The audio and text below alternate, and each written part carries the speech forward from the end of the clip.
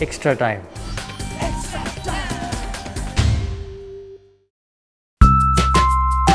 ডার্বির আগে মুখে কুলুপ মোহনবাগান কোচ ফুটবলারদের।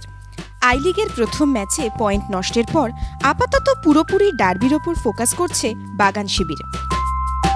তাই মুখ খুলে কোনো রকম বিতর্ক বাড়াতে চায় না দল। পাশাপাশি মিশন ডার্বিতে বিশেষ কসরত মোহন অধিনায়ক সানি নাডিরও তখন অনুশীলন শেষ।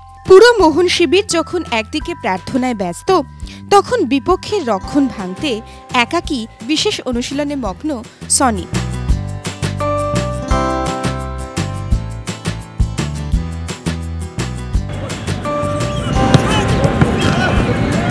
তবে ডার্বিতে দল নিয়ে একটু হলেও চিন্তায় কোচ সঞ্জয় সেন। এখনও চোট সারেনি কিনুবাকির।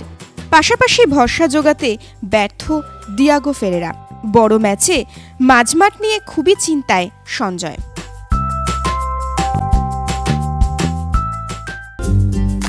লেটেস্ট নিউজ আর এক্সক্লুসিভ ভিডিওর সঙ্গে আপডেট থাকতে এখনই সাবস্ক্রাইব করুন আমাদের ইউটিউব চ্যানেল বেল আইকনে ক্লিক করতে ভুলবেন না যেন।